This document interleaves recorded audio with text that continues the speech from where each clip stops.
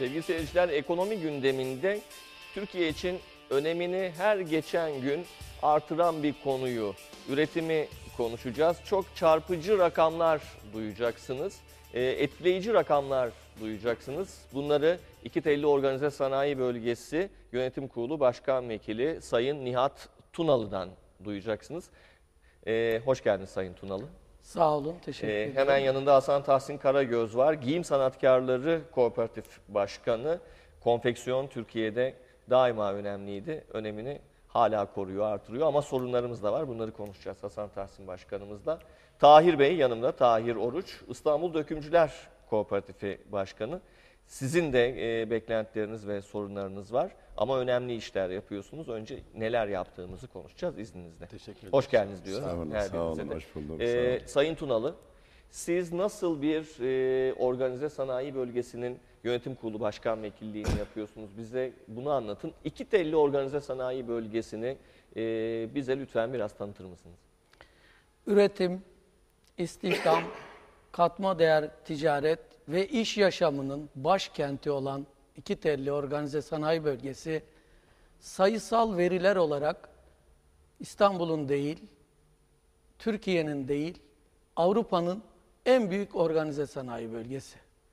Yeterince biliyoruz, bilmiyoruz. Organize sanayi bölgesi deyince başkanım, seyircilerimizde herkesin bir fikir var ama ne demek organize sanayi bölgesi? Yani işte 30 bin bir rakam var, e, 30 bin iş yeri, 37 kooperatif. Bu nasıl organize olunmuş bir yapı? İki telli organize sanayi bölgesi kuruluşu 1985 yılında e, İstanbul'un Fatih, Eminönü, Zeytinburnu, Kağıthane ve Haliç'te bulunan, çok dağınık şekilde bulunan ve çıkardıkları atık, duman, gürültü vesaire nedeniyle insan sağlığına e, zararlı unsurlarla çevreyi kirleten, bu suretle kente ve kent insanına zarar veren, şehircilik e, açısından olumsuz bir durum ortaya çıkaran küçük ve orta boy sanayi işletmelerin yani KOBİ'lerin bir yerde toplanması, e, altyapısı hazırlanmış alanlarda toplanarak çevreye zarar vermeden faaliyetlerini sürdürmeleri ne sağlamak için kurulmuş, kent içi trafik yoğunluğunun azaltılması düşünülmüş, kentin tarihi ve turistik dokusunun muhafaza edilmesi düşünülmüş. Bu şekilde sanayici, imalatçı, tüccar, iş adamı, girişimci ve yatırımcılar arasındaki ilişkilerin geliştirilmesine imkan sağlamak amacıyla planlanmış. Şimdi bu plan e, tuttu mu başkanım? Bu plan, Şimdi yani Eminönü'ne e, 15 kilometre, havaalanına 10 kilometre bu bir plan mesafe ama şehrin içi değil mi şimdi burası?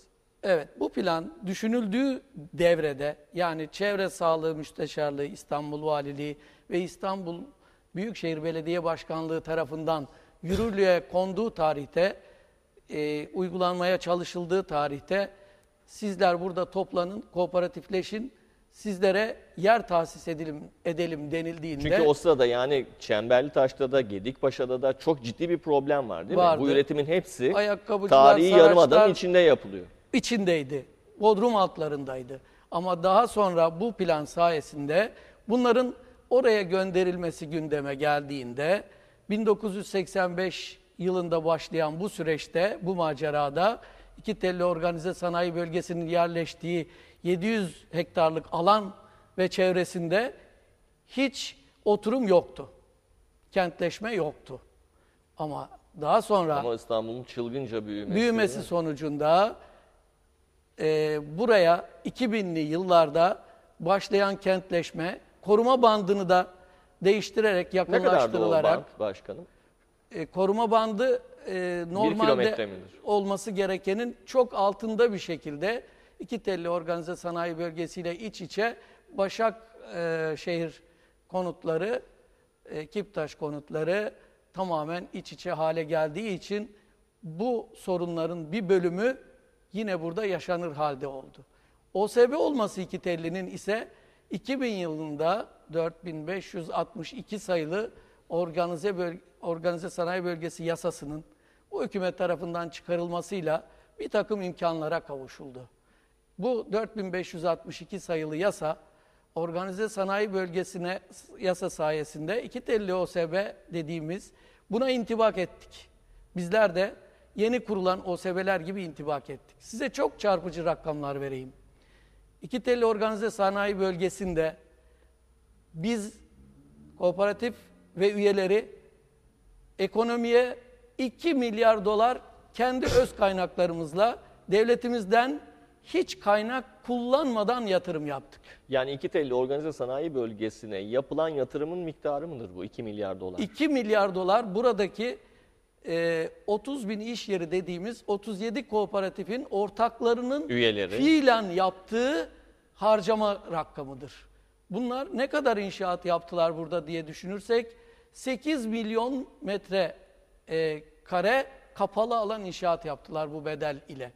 Devletimiz buraya 8, e, Galiba 2 yollara milyar yatırım dolar yaptı. bizlerin harcamasının dışında sadece ana alter yolları yaptı. Buraya da e, 8 milyon dolar. 8 milyon dolar devletin katkısı oldu. Biz burada biz burada iki Ama telli herhalde organize- 8 milyon dolar e, yollarınızı yaptı ama e, iki telli organize sanayi bölgesinin ürettiği vergi, e, e, yaptığı ihracat ne kadardır başkanım? İki telli organize sanayi bölgesi bugün ülkede e, dünyadaki 116 ülkeye ihracat yapmakta. Bunlar en küçük vidadan tutun Almanya'daki Mercedes e, fabrikasına parça yedek parça üretimine kadar iki telli organize sanayi bölgesinde üretim yapılmaktadır. İki telli organize sanayi bölgesi yaşayan bir organizmadır. Bugün Türkiye'de GAP'tan daha fazla katma değer üretmektedir düşünüldüğü takdirde. Şu anda 300 bine kapasitesi olup 235 bin istihdam yaratmıştır Her ülkemize. gün değil mi bu insanlar oraya git, çalışmak için gidiyor? Her gün bu, Bu- 235 bin dolayında insanımız buraya çalışmaya gelmektedir. E, müsaadenizle hemen e, Hasan Tahsin Karagöz'e, e, konfeksiyon e, çok önemli bir e, ihracat alanı değil mi Türkiye için?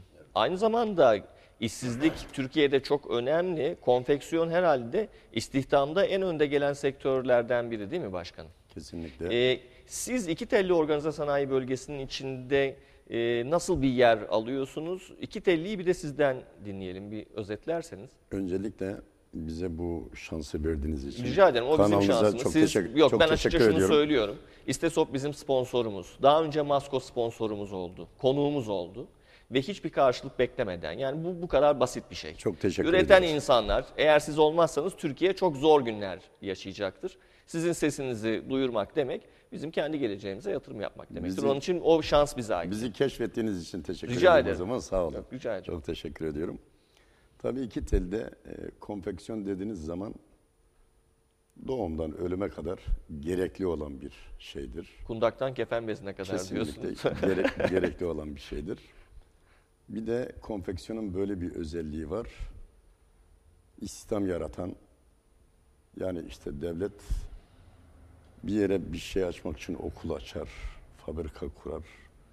Biz mala arasında gerçekten genç çocuklarımızı çıraklıktan alırız, bunu yetiştiririz, ekmek sahibi yaparız. Ee, çobanından başbakanına kadar güzel bir şekilde onu süsleme giydirmeye çalışırız. Onun için konfeksiyon çok önemlidir. Tabii Bu kon- iki, başkanım 230 bin çalışandan 300 bine yakın çalışandan söz ediyoruz. İki telli organizede. Bunun e, konfeksiyonun payı nedir burada? konfeksiyonun payı burada yüzde üç dolaylarındadır. Çünkü e, iki telli de Sayın Başkanımın da söylediği gibi ufak ve orta ölçekli işletmeler var. Yani sanatkar veya esnaf diye tanımladığımız kesimler var. Ee, tabii İstanbul'da konfeksiyon çok dağınık olduğu için yani İstanbul'un çeşitli yerlerinde çok dağınık olduğu için bunları bir araya toparlamak için yeterli yerimiz yok. Şimdi tabii iki telli çok uzun bir zaman aldı. 85 yılında o zamanlar işte biraz önce bahsedildiği gibi Gedikpaşa'da merdiven altında kaçak göçek çalışan insanları bir araya toplamaya çalıştık. Ama teknolojinin gelişmesiyle, sermayenin güçlenmesiyle tabii ufak e, sanatkar kesimi ya yok oldu ya da büyüdü. Tabii biz o zamanki şartlarda işte Gedikpaşa'da takdir ediyorsun. 20-30 metrekarede insanlar çalışıyordu. Şimdi onlar yok oldu veyahut da büyüdü. İki TL bir hale geldi ki yok olan da işine yaramadı, büyüyenin de işine yaramadı. Çünkü küçük yerler ürettiğimiz için, küçük yerler yaptığımız için e, iki telide yaklaşık 8 milyon metrekare inşaat yapmışız. İki telin toplamında. İşte e, çeşitli arkadaşlarım da söyledi. 30 bin iş yeri, 200 binin üstünde çalışanı. Ama 116 ülkeye ihracat yaptığınız doğru mu? Doğru. En çok ne ihraç ediyor iki telli organize? Yani Sayın Başkanım söyledi tekstilden vidasına kadar, arabasına kadar işte e, aklınıza gelebilecek tüm Evet uçak sanayi bile iki telde var yani. Uçak sanayi derken Mesela bu insansız, yapıyorsunuz? insansız uçak biz şeyden alıyoruz. Ee, nereden alıyorduk? Şeyden mi? Sayın Heron'u çok İsrail'den. seviyorum. Evet. evet. İki telde mevcut bunlar. Yap- Bilmiyorum ne kadar doğru söylemek. Nasıl yani ben anlamadım şimdi bir dakika. Enteresan. Ee, iki telli de insansız uçak mı var diyorsun? Hayır. Tamam peki. Neyse. Ee, e, bir reklama gidelim size de söz vereceğim. Reklamdan sonra e, bu uçak mevzundan devam edelim. Reklamlar efendim. İstesog'un sunduğu ekonomi gündemi devam edecek.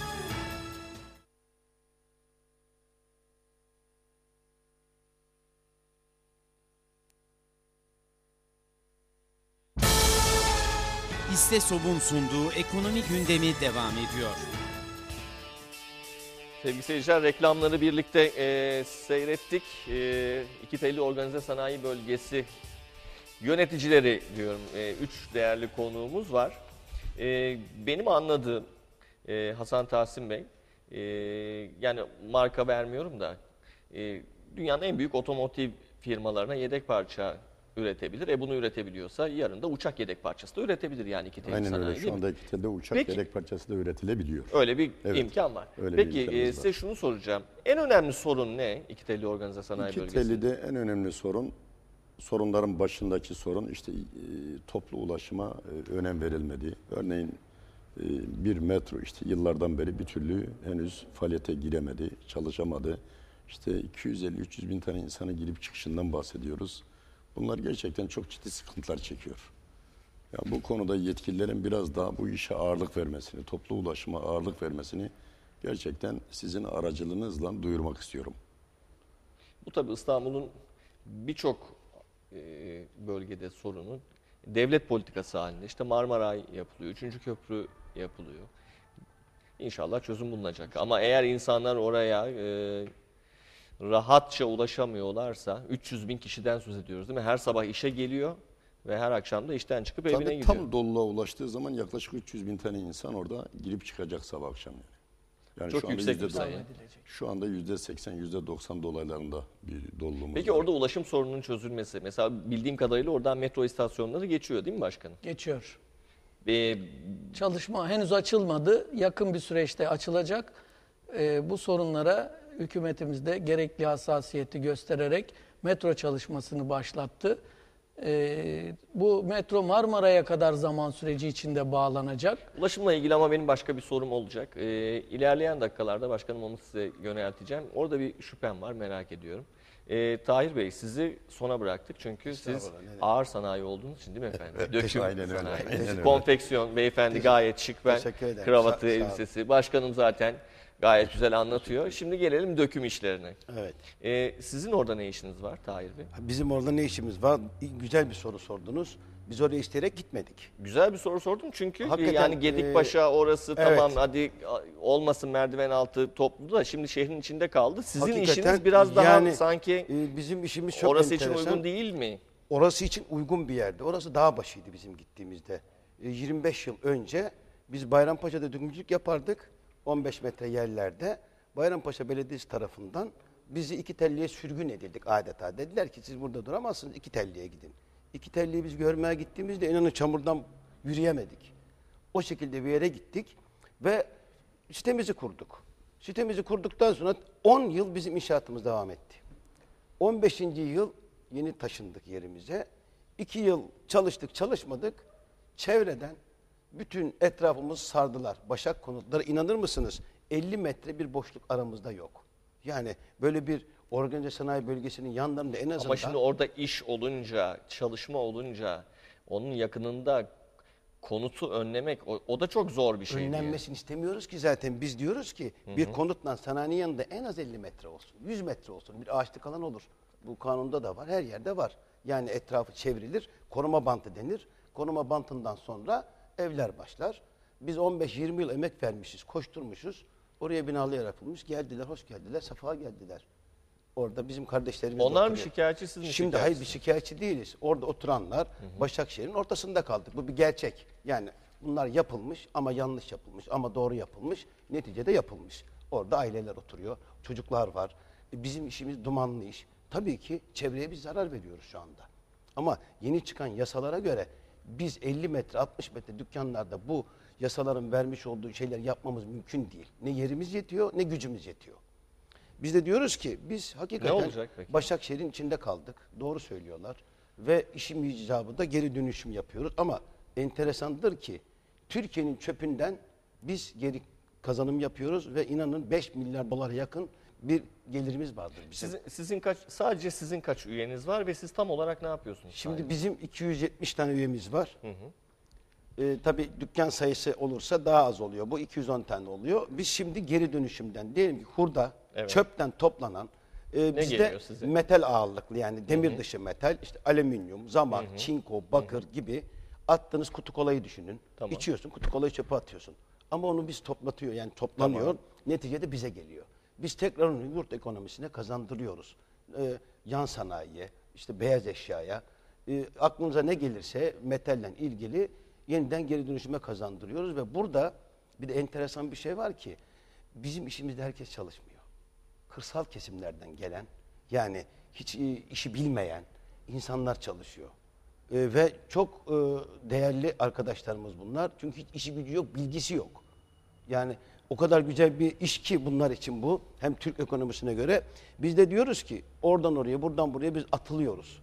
Dökümcüler olarak. Yani sadece biz İstanbul dökümcüler olarak iki telli de ben kendimi konuşmuyorum. Siz bu işi yapmasanız ne olur? Şimdi biz bu işi yapmasak e, yurt ekonomisine sadece bizim İstanbul'umuzdan 5 milyar dolar bir katkı sağlıyoruz ve ailemizi geçindiriyoruz. Yıllık 5 milyar dolar mı? Evet efendim. Sadece dökümcülerin Sadece bizlerden bu, geri dönüşümden.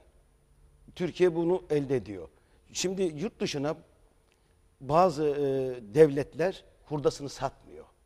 Ama bizimkiler hurdasını da dışarı satıyor. Eritmeden, işlemeden dışarı vermiyorlar. Külçe haline getirin, satın diyorlar. Ama bizimkiler eritmeden de, bizimkiler derken Türkiye'den yani. e, biz eritmeden de hurdalarımızı verebiliyoruz. Bu hurdaları verirken de Peki bunun e, çevreye zararlarının e, ortadan kaldırılması mümkün değil mi? Sadece dükkan büyüklüklerinden mi Hayır problem şimdi var? ben de oradan biz bu çevreye hakikaten zarar veriyoruz. Vermiyor değiliz. Niye? Ee, bilinçli insanlar değildik. Biraz önce demiştim. Bizim Teknik olarak işimizi- önlenmesi mümkün mü evet, bu tabii zararın mümkün. peki? Biz istiyoruz ki İstanbul'da şimdi çeşitli yerlerde örnek vereyim size buradan. Ee, bakın hiç ummadığınız yerlerde çevreyi kirleten diyeyim yani bizim gibi geri dönüşüm işi yapanlar merdiven altına gitmiş ve belli olanlar Var mı böyle çok? Olmaz olur mu? Bakın Sultan Çiftliği'nde var bunlar. Onlar da yer istiyorlar. Altınşehir'de var, yer istiyorlar. Efendim Habibler'de var. İmes'te, Arnavutköy'de, Kartal'da, Sabiha Gökçen Havaalanı'nın yanında. Bizim arkadaşlarımız bunlar. İstanbul'da Ee, küncülere Nihat gelen Bey. cezalardan kaçanlar merdiven altına gidiyorlar. Bu sefer daha çok her tarafa dağılıyorlar. Ee, Biz Sayın- istiyoruz ki iki telli organize sanayi, ihtisas organize sanayi bölgesi kuralım ve Avrupa'da bir tane olsun. Altyapısından, arıtımından ve devlet bizi böyle avucunun içinde tutsun. Hiçbir tarafa gitmeden dört dörtlük bir yer yapalım istiyoruz. Bunun için de Sanayi ve Ticaret Bakanımız Nihat Ergül Bey'in haberi var. Kendisine söyledik. Çok sıcak baktı. Sayın Valimiz Hüseyin Avni Bey'e söyledik. O da çok sıcak baktı. Hatta bize valilikte bir toplantı yaptı kendisine. Bundan da teşekkür ediyorum. Ben de size çok sıcak bakıyorum ve sözü e, başkanıma veriyorum. Peki daha, Başkanım, daha e, devamım vardı. Devamını Peki. şöyle yapalım, sizinle anlaşalım. Tamam. E, siz başlı başına bir program konusunuz. Evet. Galiba siz hemfikirsiniz değil mi? çok Anlaşıldı. aynen öyle, aynen. Tamam, yani bu konuyu ayrı işlemek zorundayız. Evet. Çünkü hem işin içinde çevre var, hem şehirleşme var, Evet. hem ekonomi var. E, başkanım siz bunu e, ön ayak olun. Bunu siz idare edin. Ee, Sözünüzü tekrar iade edeceğim ama. Tamam, bu Ee, zaten iki şey telli. var. Şimdi bir, bir yere de geldik. Evet para kazanmak çok önemli. Üretmek çok önemli ama burada yapısal sorunlar da var anladığım kadarıyla. Var. İşte beyefendinin e, sorununu çözdüğümüz zaman bir iş çıkacak ortaya ki bunu başaracağınızı biliyorum. Türkiye bunu halleder. Sorun yok. Bunu halledeceksiniz. Başka ne önemli problemler var iki telli organize sanayi bölgesinde? İki telli organize sanayi bölgesinin başlıca en önemli ağırlıklı problemlerinden başında e, tezidi bedel ve şerh davaları dediğimiz bizim sanayicimizin, kooperatifimizin, kooperatiflerimizin hiçbir kusuru olmadan demin de izah etmeye çalıştığım gibi 1985 yılında arsa ofisi istimlak ederek kooperatiflerden %10 fazlasıyla bedellerini alarak kendilerine tahsis ettiği yerlere zaman içinde Av- Avrupa Birliği uyum yasaları çerçevesinde yasalarda yapılan değişikliklerden sonra arsa ofisi tarafından, şimdiki TOKİ eski arsa ofisi tarafından istimlak edilir iken yeterli hassasiyet gösterilmeden onların kusurundan dolayı ilgilisine tam olarak ulaşılmadan ölü insana örneğin tebligat yapılarak onun yerinin bedeli bankaya yatırılarak ulaşılmayanları maalesef içeriden bir şekilde duyularak, öğrenilerek TOKİ'ye dava açılıyor. Hala devam ediyor mu Hala devam süreç? ediyor bu süreç. Maalesef Bu da galiba baş başına bir program Başlı konusu ama başına değil mi? bir bu, konu bu. bu. apayrı bir hukuk, yani Apayrı hukukçularla bir da konu. konuşulması gereken bir şey. Kesinlikle evet. e, iki tellinin maalesef en büyük sorunlarından biri bu. E, bedelini ödediği, zamanında fazlasıyla ödediği yer için dönülerek kendisinden bugün on binlerce, yüz binlerce kat fazlası TOKİ tarafından Şimdi yani- yeniden istenmekte. Başkanım hiç kusura bakmayın da yani beni mazur görün yani. Seyircilerim de benimle aynı şeyi düşünüyorlar. Ya bunun adı organize sanayi bölgesi değil mi Allah rızası için? Evet, Bu nasıl bir organizedir yani? evet. Ya bu nasıl bir organize? Bu Şimdi şöyle siz bir o kadar organize. büyük bir yapısınız ki mesela bakın bir başka şeyden söz edin hemen. Reklama gideceğim bir dakikam bile anca var. Siz kendi elektriğinizi üyelerinize kendiniz veriyorsunuz değil mi? Evet. E, %7 indirimle mi? En son yanılıyor mu? Son yaptığımız indirim daha öncesinde de yaptık. %7 indirim yaptınız değil mi? En son %7 Tamamı yaptık. 18 oluyor. 18 Ee, biz EPDK'dan dağıtım lisansımızı, belgemizi aldıktan sonra oradaki bütün abonelerimize elektriğimizi kendimiz veriyoruz. Tümünü biz karşılıyoruz. Daha temiz, daha kaliteli, kesintisiz enerji vermenin her türlü altyapısını ve yatırımlarını yapıyoruz. Hatta bugün çok önemli bir şey gerçekleştirdik. İlk defa iki telli organize sanayi bölgesine yatırım teşvik belgesi çıkardık. Ne zaman çıktı başkanım? o? Bugün Bugün çıktı. bakanlıktan aldık. Taze bir haber. müjde veriyoruz. Ee, şöyle yapalım. Reklama gideceğiz. Reklamdan sonra bu teşvikle başlayalım. Ee, konuya devam edelim. Teşekkür. Reklamlar efendim. İstesov'un sunduğu ekonomi gündemi devam edecek.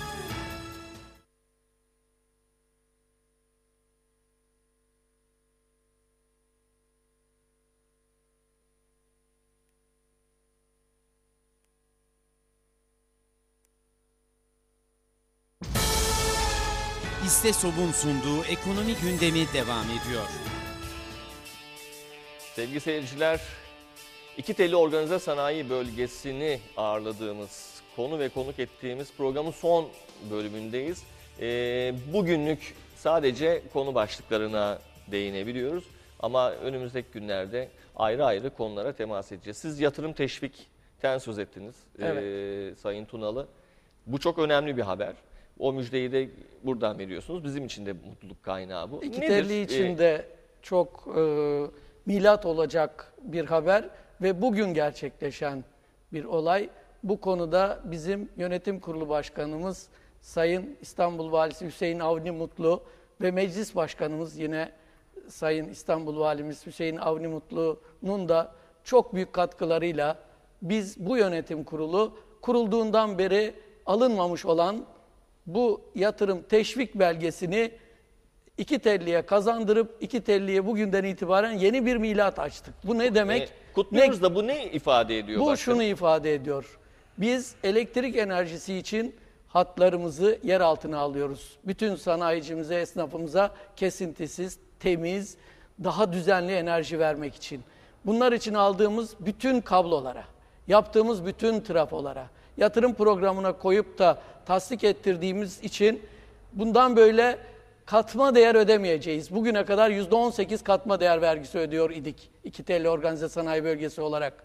Yurt dışından getireceğimiz malzemelerimize gümrük ödemeyeceğiz. İki Bu telliye Ne biz kadar fark edecek? Yüzde kaç?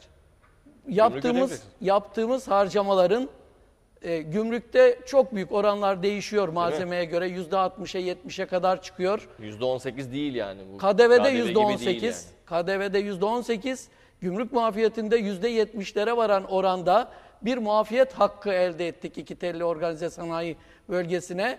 Bu iki telli OSB için bunu bir milat gibi addediyoruz. Bu hizmeti, bu olayı onlara sunmakla çok büyük bir e, bütçemizin yüzde yirmisinden fazla bir oranda iki telli organize sanayi bölgesinin cebinde kalmasını sağlıyor bu yaptığımız hizmet. Bu şekilde enerjimizi bugüne kadar verdiğimiz elektrik enerjisini tamamen modernleştireceğiz. Sayaçlarımızı uzaktan okuyabileceğiz. E, faturalarımızı uzaktan okuyarak çıkarabileceğiz. Enerjiyi oturduğumuz yerden bilgisayarla istedi, e, istediğimizi kesebileceğiz. Ödemediği takdirde istediğimizi bilgisayar marifetiyle oturduğumuz yerden uzaktan erişimle açabileceğiz. Bu modernleştirmeyi de iki telli OSB olarak e, en kısa süreç içinde bu sayede tamamlama olanağına kavuşmuş olacak. Çok büyük bir hizmet sağlamış olacağız sanayicimize, oradaki esnafımıza. İki telli işleyen bir organizma. İki telli biraz önce de bahsettiğim gibi katma değeri olarak ülkemize 8-10 milyar dolardan fazla katkı sağlayan bugün devletin çok büyük imkanlarla yaptığı GAP'tan daha büyük bir proje ama devletimizden hiç e, destek almadan, kredi almadan kendi öz kaynaklarımızla hayata geçirdiğimiz bir proje.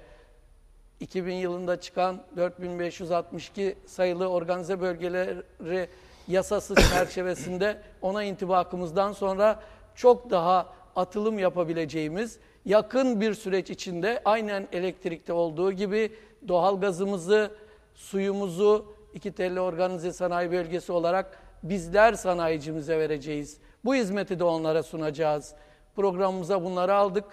Ee, bu sayede sanayicimizin, esnafımızın daha uygun koşullarla üretim yapmasını sağlayacağız. İstihdam dedim, biz de Türkiye'de bize göre işsizlik değil, eğitimsizlik var. Yeterince kalifiye eleman bulamıyor bizim işverenimiz. İş isteyen çok ama vasıfsız işçi çok. Gerekli vasıflı işçi olmadığı için bizlerin sanayicimizin birçoğu eğitim noksanlığından, kalifiye eleman noksanlığından, istediği vasıfta eleman olmamasından dolayı ben Türkiye'nin derdinin işsizlik değil, istihdamdaki en büyük probleminin e, yeterli kalifiye eleman olmadığını düşünüyorum. Burada herhalde önümüzdeki günlerde bunu da konuşuruz da belki iki telli organize sanayi bölgesi bu açığı kapatmak için bir e, Meslek eğitim seferberliğine de programı aldık. Bunu da e, konuşalım. Bu apayrı bir Evet. konu. Evet. E, süremi- Ana başlıkları ancak değe- değinebiliyorum. Olsun. E, başlangıç için iyidir. E, son 3 dakikan, birer buçuk dakika aranızda bölüşeceksiniz. E, eşit veriyorum ki çünkü beyefendi daha e, bir buçuk dakikayı Biraz şey- fazla dertli olduğu için evet. Ya benim derdim fazla sen biraz kıs Önemli. bir dakika Ee, yap bunu. Siz, e, ben iki telli organize sanayi bölgesine size bir kahve içmeye gelsem e, Hasan Tahsin Bey. e, Sizin dışınızda nele- ne- neleri ve kimleri görmüş olurum? Kimler Evet. var orada? Ee, Çok güzel bir soru. Teşekkür ediyorum. İki teli de e, bize seyreden arkadaşların da seyircilerin de bilmesi açısından izin verirseniz o meslekleri ben Lütfen söylemek tabii. istiyorum. Onun için soruyorum. E, deri mamulleri, saraciye ve ayakkabı, oto tamiri, mobilya, kereste, çorap, triko, konfeksiyon, makine imalatı ve yedek parça, medeni eşya, madeni eşya, tekstil dokuma, demirciler, plastik, depo ardiyeciler, pik dökümcüler, metal kaplama, sarı döküm, hırdavatçılar, kimyevi madde, elektronik. Bunların hepsi var. değil mi? Bunların hepsi iki telde mevcut. Yani bir vatandaş geldiği zaman gerçekten tabiri caizse inneden ipliğe her şeyi bulabiliyor. İşte sizin sayenizde de bunu vatandaşa duyurma imkanı e, bulmuş olduk. Burada sadece e, toptancılar için değil, nihai tüketici için de hizmet veren bir tarafı var değil mi? Perakende de var, nihayeti tüketici de var. Mesela ben kendi kooperatifimle ilgili şu anda benim orada alışveriş merkezi var. Yani bundan 20 yıl önce sorsaydınız bana burası nasıl olur? Hayal, kendim dahi hayal edemezdim. Şimdi var ama. Bugün Demek ki ben e, o sona sakladığım soruda haklıyım ama onu başka programda konuşacağız. Bu metro istasyonlarının buradan geçmesi evet burayı beklenmedik bir hale getirecek. Ama burası aslında bir perakende üstüne dönüşecek. Siz yine e, beyefendinin dediği gibi belki hep beraber yeni bir iki telli organize böyle bir şey olacak. Son cümlelerinizi sizden alacağım. Benim son- Peki sizin durumunuzu nasıl çözeceğiz biz? Benim durumum çok kolay aslında. Yani ne yaparsak çözülür hemen söyleyin. Bir tane ihtisas organize sanayi bölgesi kuracağız. Nereye- İstanbul'da nereye istiyoruz. kuracağız bunu? İstanbul'dan yer veriyoruz. Çünkü İstanbul'un göbeğinden, Tamam. Başakşehir'in göbeğinde yer boşaltacağız. Tamam. Sizi Kanal Biz de İstanbul'a ki, göndersek gider Biz de misiniz? İstanbul'un, Kanal İstanbul olabilir, kanalsız olabilir. güzel yerine. Ama İstanbul'dan istiyoruz. Çünkü esnafımız küçük esnaf olduğu için yani ufak, e, yani daha uzaklara gidip Peki siz yapamayız. niye e, başbakan, e, sayın başbakan bir kümeleşmeden söz ediyor? Siz neden böyle ufak kalıyorsunuz? Birleşip bir kümeleşip büyüseniz? Kümeleşmek istiyoruz zaten. Biz Ama de yani o istiyoruz ki küçükler iki birleşse, organ- onu biraz işte büyütseniz. 1500-2000 tane gibi bir e, bizim topluluğumuz var. Bir kümeleştiğimiz zaman zaten 500 tane kalacağız. Biz de diyoruz ki yeni bir ihtisas organize sanayi bölgesi alırsak burada e, o kadar da bu işi öğrendik ki artık 40 yıllık bir tecrübemiz var. Yani bunun nasıl olacağını hakikaten okumadan artık öğrendik. Ona göre Avrupa'da en modern, hatta bak burada iddia ediyorum sizin yanınızda Avrupa'nın en modern e, ihtisas organize bölgesi Bunu nasıl burası. yapacağınızı bana, Bana ister bir çevre buçuk dakika vakit mühendisiyle, verirsen ister tam mimarla gelin. açılamıyorum yani. Bak gelin, e, bana açılmanıza imkan vereceğim. Bir program size ayıracağım. Mimarınızla, çevre mühendisinizle gelin. Bunu nasıl yapacağınızı bana anlatın. Teşekkür Söz ediyorum. mü? Söz. Peki, Siz de başkanım. söz verin bu programı yapacağınızı. Ben buradayım zaten. Tamam. Başkanım son cümle e, neler söyleyeceksiniz? Bir cümleyle kapatalım. Bizler iki telli organize sanayi bölgesi olarak demin de söylediğim gibi sanayiye ayda sadece 70 milyon kilowatt saat enerji tüketiyoruz. Ee, büyük hizmetler yapmaya çalışıyoruz. 112 acil servisimiz yoktu. Bir ay önce 112 acil servisimizi hizmete soktuk. Anında bir telefonla tüm sanayicimize ulaşabilme imkanını sağladık. Bundan sonra da yapacağımız çok fazla önümüzde programımız var. Kendi binamızı inşa ediyoruz. Şu anda yıl sonuna Projesini gördüm, yetiştireceğiz. çok beğendim. E, onu da aslında e, önümüzdeki günlerde o projenin fotoğraflarıyla da gelelim. O proje neler katacak? Metro çok şey istasyonları, katacak. ulaşım ne katacak? Ne eksiğimiz var? Bir kere daha konuşalım başkanım. Teşekkür ediyoruz o imkanı bize sağlarsanız. Rica ederim. Çok teşekkür ederim. Ayağınıza sağlık. Sevgili seyirciler, iki telli organize sanayi bölgesi konuğumuzdu. Önümüzdeki günlerde bu konuya devam edeceğiz. Tek tek de e, başkanlarımızı ağırlayacağız. Üretim çok önemli. Yarın 17.15'te Kanal A'da ekonomi gündeminde tekrar sizinle buluşmak istiyoruz. Ekip arkadaşlarım adına iyi akşamlar diliyorum. Hoşçakalın.